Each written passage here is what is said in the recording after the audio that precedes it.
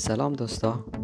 تشکر از اینکه بیننده channel بازار استرالیا هستید و برای ویدیوهای بیشتر channel بازار استرالیا را subscribe کنید لایک کنید کامنت بگذارید و ویدیوهای ما را با دوستان خود شریک سازید. شما می توانید صفحه فیسبوکی بازار استرالیا را لایک کرده ما را از آنجا هم تعقیب کنید. در این channel در channel بازار استرالیا در این شبکه ما تلاش داریم که تمام اخبار روز در مورد تغییرات بازارهای جهان در مورد بازار اقتصاد, اقتصاد استرالیا در مورد بازار املاک استرالیا در مورد market خانه های استرالیا با هم گفتگو کنیم. ما خواهشمندیم که شما شبکه ما را subscribe کرده و ویدیوهای ما را لایک کنید تا ما در آینده ویدیوهای خوبتر و بیشتر برای شما بسازیم. خب دوستا بیشتر وقت شما را نمی‌گیریم و می رویم مستقیم روی ویدیوی امروزی ما. و ویدیوی امروزی ما در مورد این است که شما را خوش آمدید می گویم به یکی از ویدیوهای دیگر امروزی ما در مورد یکی از سرزمین های جهان که در آن پولدارترین آدم های جهان زندگی می کند و این جای را برای زندگی کردن انتخاب نموده است. بله دقیقا. در همین سال گذشته میلادی سال 2019 شهروندای استرالیایی یکی از پولدارترین شهروندای دنیا به حساب می آید بدون در نظر داشت شهرهای کوچک مثل موناکو و شهرهای دیگر که پولدارترین آدما در آن زندگی می کند استرالیا یکی از کشورهایی است که بیشترین پولدارترین آدما را در خود جا داده است. حد اوسط دارایی یک استرالیایی می تواند 4 و 11 هزار دلار آمریکایی باشد. از این کرده هم فوق العاده تر چیز دیگری داریم که او می شود دارایی حد اوسط شهروندای استرالیایی. در بین غریبترین تا پولدارترین حد اوسط دارایی استرالیایی ها می تواند یک نگو 91 هزار باشد. این به این معناست که این دارایی در بین همه استرالیایی ها به حد متوازن یا برابر تقسیم شده است. یک شهروند استرالیایی می تواند سه برابر دارایی یک آمریکایی را داشته باشد. و این شهروندان استرالیایی یکی از خوششانسترین شهروندان جهان که مدتی 23 سال می شود اقتصاد استرالیا در معرض بحران اقتصادی قرار نگرفته است. در حالی که بحران اقتصادی سال 2007 2008 2009 میلادی همه دنیا را به شوکه درآورد اما استرالیایی ها هیچ تاثیری در آن وجود نداشت. خب داستان چی است؟ چرا استرالیایی ها همیشه خوششانسند و یکی از ثروتمندترین کشورهای دنیا به شمار می رود و این خیلی فوق العاده است که همه می‌خواهد بفهمد که این تاثیرات همان معدن یا ماینینگ استرالیا است که اقتصاد استرالیا اصلا در بحران قرار نمی‌گیرد. در این کشور پهناور استرالیا بیشترین معدن معدن مثل معدن زغال سنگ گازهای طبیعی و اقسام معدنهای دیگر را در خود جا داده با در نظر داشت معادن طبیعی و ذخایر طبیعی استرالیا استرالیا از نگاه جغرافیایی نیز یک نقش اساسی را در بین تجارت اقتصاد جهان از بازی می کند و استرالیا می تواند یک دریچه باشد بین اقتصادی که در حال رشد است از آسیا آنها را وصل کند به جاهای دیگر. و استرالیا توسط ذخایر خام خود می تواند به کشورهای مثل هند، ژاپن، کره و دقیقا چین هم آنها را export کند. و این تاثیرات خیلی بالا روی اقتصاد استرالیا داشت. تحقیقات نشان داده است که در سال 2017 استرالیا تقریبا 270 بیلیون دلار آمریکایی به کشورهای ذکر شده اکسپورت کرده است. و این معادن طبیعی استرالیا روی درآمد شهروندان استرالیایی ها هم تاثیرات خوبی داشته. و یک کارگر عادی در آمریکا با درآمد 47 هزار دلار در سال می باشد ولی برعکس در استرالیا یک کارگر عادی اگر در ذخایر معدن استرالیا کار کند. می تواند سالانه یک لک و پنجاه هزار دلار دلار آمریکایی درآمد داشته باشد. بله شما دقیق شنیدید. یک لک و پنجاه هزار. بله بدون در نظر داشت کدام license یا license انجینیر. بله بدون در نظر داشت کدام license. اگر شهروندای استرالیایی لیسانس انجینری و لیسانس دیگر داشته باشد می تواند درآمدی بیشتر و یا بیشتر از آن داشته باشد. خب حال ما فکر می‌کنیم که ما چه جواب آن داستانی که داستان چی از استرالیایی ها این همه پولدار هستند داده باشیم. اما نه. بله این دقیقا چندان تاثیری هم ندارد روی اقتصاد استرالیا. منظورم از ذخایر طبیعی استرالیا چندان تاثیری خیلی زیادی روی اقتصاد استرالیا ندارد.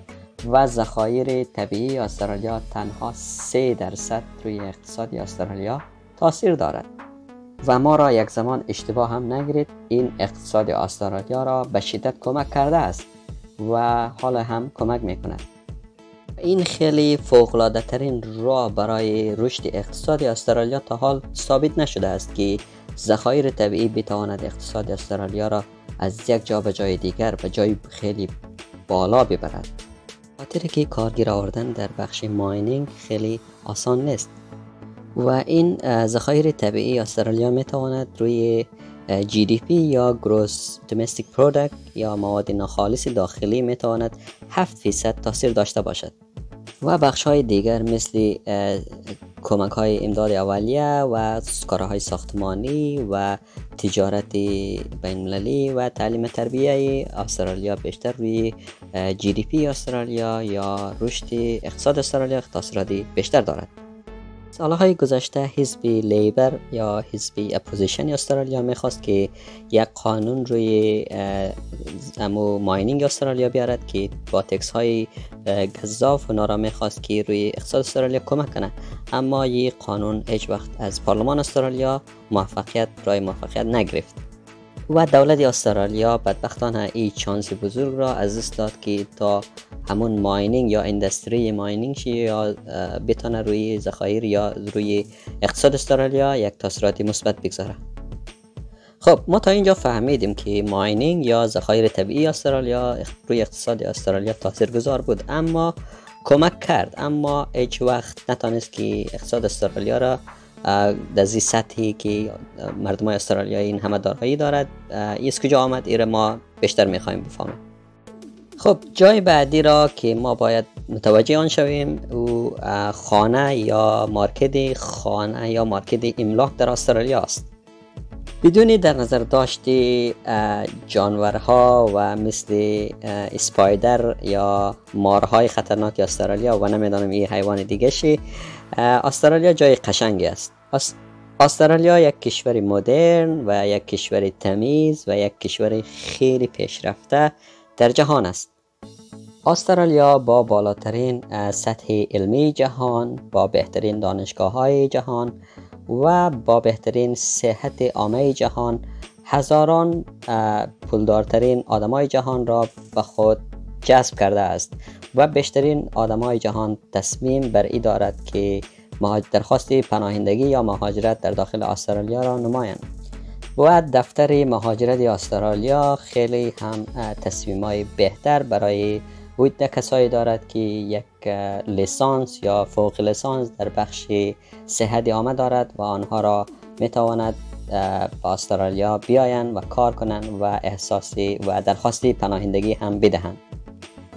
و دفتر مهاجرت استرالیا راه های مختلف برای اود کسانی هم دارد که می‌خواهد در استرالیا بیایند و درس بخوانند و برای او کسانی که سرمایه گذاری می‌خوان داخل استرالیا بکنن برای اونا هم یک سری تصمیمایی دارن و اونا می‌توانن از این فرصت ها استفاده کرده بیاین داخل استرالیا و درخواست پناهندگی بکنن خوبترین دلیلی وجود دارد که این همه مهاجری که در داخل استرالیا بیاین و دارای یک سری اسکیلز یا همان لیسانس و یا دارایی هنگفت باشند و اونا داخل استرالیا بیاین سرمایه گذاری کنن و کار کنن اقتصاد استرالیا رو به رشد می شود این یک واقعیت است. وقتی که پول خارج از کشور داخل آن کشور مصرف شود و می تواند روی اقتصاد آن کشور تاثیر خوبی بگذارد و اقتصاد آن کشور را می تواند رشد بدهد. اما یک مشکلی بزرگ وجود دارد و آن هم این است که کسای جدیدا داخل استرالیا استرالیا می آید و تقاضا برای خانه قیمت می تواند تاثیر کند تا قیمت های خانه به سطح به اوج بالا برود.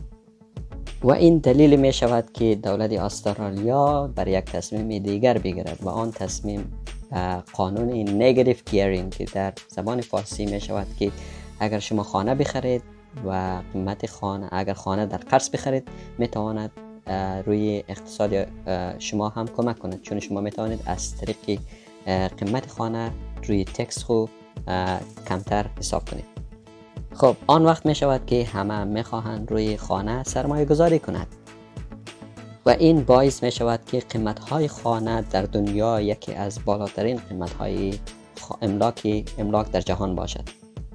یک خانه معمولی دارای چهار اتاق در شهر سیدنی می تواند بالای یک اشاریه 5 میلیون دلار در شهر سیدنی باشد. در حقیقت این خانه های معمولی را که شما مشاهده می کنید در سال گذشته بالای دو میلیون دلار به فروش رسید و این دلایل باعث شد که نسل جوانی استرالیایی ها از مارکت یا از املاک خانه بیرون بیاید و نسل جوان نتواند کدام مالکیت یا سهمیت در اقتصاد مارکت خانه های استرالیایی ها داشته باشد. و این بالا رفتن قیمت های خانه یک مشکل دیگر هم به بار آورد که همان بلزر یا کسایی که خانه ها را جرمنه با کیفیت پایین و به زودترین وقت خانه ها را ترمیم کرده و به دست صاحبان آن بدهد. خب این چی معنا دارد برای استرالیایی های عادی؟ این به این معناست که اگر کدام استرالیایی استرالیایی در چل سال گذشته اگر خانه خریده باشد و همان قیمت خانه را هم کاملا پرداخته باشد و دیگر هیچ دارایی یا بودجه هم نداشته باشد همان خانه ای که اونها قیمت آن را کاملا پرداخته می‌تواند برای آنها بیشتر از میلیون دلار ارزش داشته باشد. و این تنها راه پولدار بودن استرالیایی ها نیست. و یکی دیگری هم خصوصیات استرالیایی ها این است که آنها باید مکلفن که پول برای وقتی retire شدن خو یا همان تقاعدی خو پول جمع آوری کنند. در سال 1991 میلادی دولت استرالیا superannuation را برای استرالیایی ها معرفی کرد. و این قانون superannuation برای همه استرالیایی ها بود که باید آنها بخشی از درآمد ماهانه یا سالانه خود را در حساب جدا که برای retire بودن وقت retire از آنها یا سالهای تقاعدی آنها باید جمع شود. و این پول های superannuation روی تجارت market یا اقتصاد market استرالیا سرمایه گذاری می شود و این قانون روی همه استرالیایی ها اجرا شد. این ذخیره superannuation قبل از tax یا درآمد tax هست و همه استرالیایی ها راضی برای ذخیره superannuation یا تقاعدی هستند به خاطر که این روی درآمد آنها هیچ تاثیری ندارد و هر نفر باید همان مقدار پول را برای superannuation خود بدهد. و درآمد superannuation یا همان پس‌انداز برای مدت retire بودن فقط 9.5 درصد از کل درآمد هر شخص می باشد. و در بین جامعه جامعه هزاره های ما اصلا این سوپرانیویشن وجود ندارد که خیلی یک مشکلات شاید در آینده به بار بیاورد. خوب است اینجا یک فرضیه بگیریم با یک استرالیایی با اوسط درآمد اوسط 82 هزار دلار در سال. و این هم خیلی مقدار پولی بالای هست. و یک استرالیایی عادی می تواند با مقدار 7831 دلار در سال بدون که از آن tax کاسته شود برای superannuation خود جمع آوری کرده می تواند بدون در نظر داشت که این نفر درآمد چی بالا نرود یا ارزش پول از بین برود؟ بدون در نظر داشت این همه این همه می تواند این نفر هر سال 7831 دلار در حساب superannuation که برای مدت تقاعدی از این نفر است جمع‌آوری کرده می تواند و این مقدار پول هر سال اگر جمع‌آوری شده برود بعد از مدت 40 سال می تواند یک میلیون و دلار استرالیایی شود. در موقعی که این نفر تقاعد یا retire شود. و این یکی از بهترین قانون در جهان ثابت شده که استرالیا این قانون دارد برای کسایی که در سن تقاعد می‌رسد.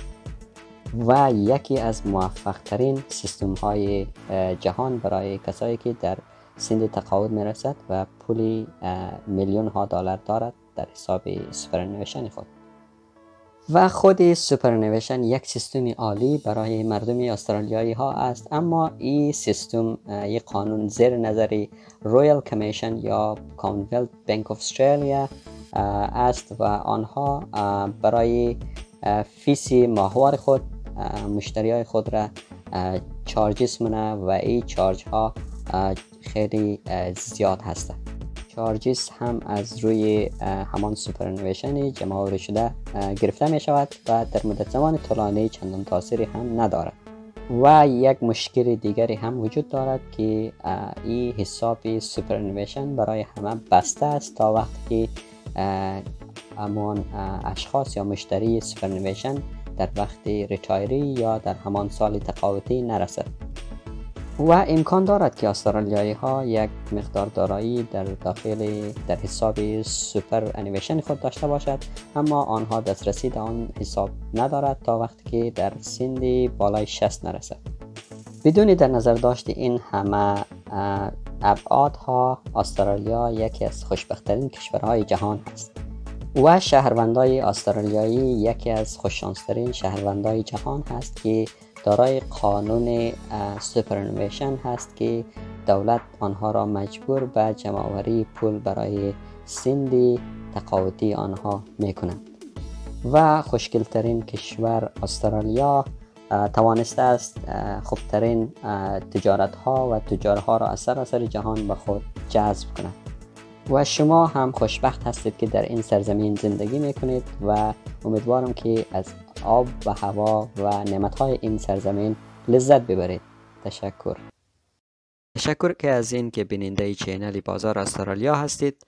برای ویدیوهای بیشتر channel بازار استرالیا را subscribe کنید like کنید کامنت بگذارید و ویدیوهای ما را با دوستان خود شریک سازید. برای از او دوستانی که می‌خواهند خانه بخرن حتما ویدیوهای ما share کنید. شاید یک سر اطلاعات کافی برای اونا داده بتانیم. شما هم می توانید صفحه فیسبوک ما را like کرده و در آنجا ما را تعقیب کنید. برای ویدیوهای بیشتر از شما خواهشاً ویدیوهای ما را like کنید تا channel ما تا ما ویدیوهای خوبتر و بهتر برای شما تولید کنیم. تشکر دوستا. و وقت خوش می‌بینیم تا لحظه دیگر.